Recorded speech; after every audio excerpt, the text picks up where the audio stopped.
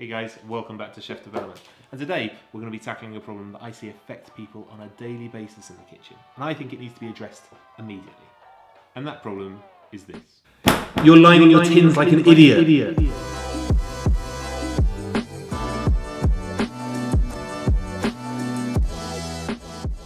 Now, don't let my boyish good looks deceive you. I've been cooking and teaching people how to cook for quite a long time. And during that time, I've seen a huge range of, let's call them interesting techniques from novice cooks and seasoned chefs alike while attempting to line a tin. One thing these techniques have all had in common is they're all bloody stupid. So if you're guilty of perpetrating any of these terrible techniques, it's time to change your ways. Step out of the shadows of kitchen buffoonery and start lining your tins like you're not totally brain dead. In this video, we're going to step away from the normal format and instead cover some of the more common idiotic tin lining techniques I often see and how we can rectify them. So if you're ready, hold on to your dunce hat because we're going to start right here. Cutting to size. So before we even get to the different types of tins, let's tackle the biggest problem I see when it comes to lining them, and that is cutting the greaseproof paper to the correct size. You would not believe how many people just cannot seem to grasp the simple concept that if you cut your greaseproof paper too small, there won't be enough of it to cover your tin properly. You see them rearranging the paper, pulling at it, desperately willing for it to grow magically and stretch just to the right size. This is never going to happen, so give up, get rid of the tiny piece of greaseproof and start again. Now, if you're someone who always makes your greaseproof paper too big instead, opting to cut it to size after you've got it into your tin, you may think you've dodged a bullet. Well, think again. All this shows is you have given no thought to lining your tin, and more often than not, you're just wasting all that paper you trim off anyway. Either way, whether you're cutting it too small or too big, it comes down to the fact that you're being too lazy to take the extra 30 seconds you would need to make sure you cut the paper to the correct size. So before we even start talking about lining any tins, we need to agree that we're going to stop being idiots and make a concerted effort to make sure we cut the greaseproof paper to the correct size for whatever tin we're lining. Okay, now that we've tackled what I consider to be the main culprit for idiotic tin lining, we can now tackle the tins themselves. Now when it comes to lining your tin, if you're guilty of any of these techniques, then I'm afraid to say you too have been lining your tin like an idiot. Forcing it in this method is exactly how it sounds, and it is the epitome of ridiculous tin lining. The paper wrinkles up, folds over on itself, it can rip, it can tear, it's completely lazy, totally ridiculous, stop it. Cutting corners. The name doesn't actually do this technique justice, the amount of work involved. But trust me, it is a complete waste of time. This technique leaves the corners of your tins unprotected, allowing cake batter and sponge mixture to seep through and stick in the tin, causing you a world of pain later on. Do yourself a favour and skip this technique altogether. Base lining. Sometimes base lining is necessary, like on a baking sheet when you're making cookies, but in a square or rectangle tin with edges that you don't want your baked goods to stick to, it is a total waste of time. So stop being surprised that if you trace the base of a tin and cut that out, that it doesn't come up the sides when it comes time to line it. Base lining is really good for circle tins, but this is making a cartouche for crying out loud. It is not the way to line a circle tin. Also, if you do this and start from the centre of the greaseproof, stop it. You're just wasting tons of paper.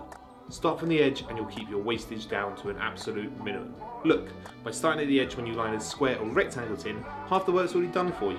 Okay, now we've covered basically everything you shouldn't do, let's talk about what you should do when lining your tin. Square and rectangle tins.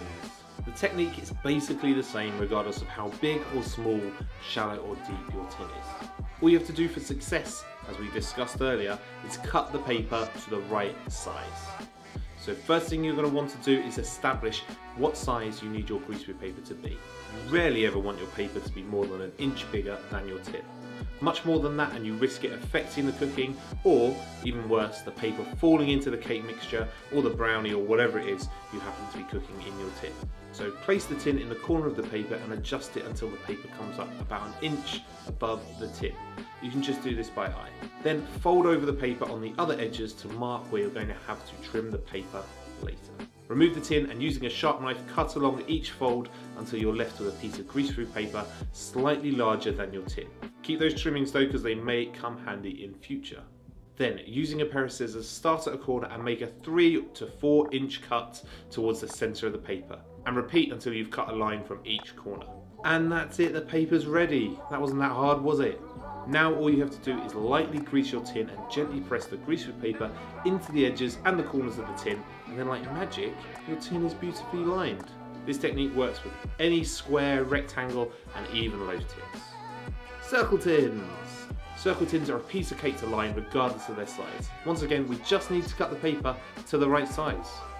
We're going to be baselining this tin properly and lining the edges with a separate piece of greaseproof paper. So place your tin close to the corner of the paper and draw around the base of the tin. Then, using a pair of scissors, cut around the line, giving you a perfect circle to put in the base. Then, using the tin as a guide, fold over the paper on the remaining edges, adjusting it so the paper comes up no more than an inch above the tin. Remove the tin and using a sharp knife, cut along each fold until you're left with strips of greaseproof paper slightly larger than the depth of your tin. Now if you kept your trimmings from any square or rectangle tin lining, you might find that they come in handy here, a little bit less wastage. Lightly grease your tin and gently press your greaseproof paper into the base and the edges of the tin. And would you look at that, you've managed to line a circle tin perfectly. If you're lining a springform tin, it's even easier. For the base, you only need to lay a piece of paper over the base of the tin and push the springform edge down over the top and clip it in place. See? Easy. Then just line the sides as you would for any other circle tin. And that's it, that's all you need to do to line your tin and not look like a chimp using tools for the first time while you're doing it. So if you're guilty of lining your tin like an idiot, then it's time to change your ways. Stop wasting your time with stupid techniques, stop wasting all that greasy paper, and why not follow this handy little guide instead. If you like this video, then you might want to reevaluate your life because I've basically just spent the whole thing abusing you. But perhaps you didn't like it, but you did learn something. And if that's the case, why not hit that like button down below and let me know. Plus, if you're new here and you like what you see, maybe you like being verbally abused, why not hit that subscribe button instead? And you can hit that tricky little bell for notifications as well. I promise I'll try and be nicer next week. Thank you guys for watching. I'll see you next time.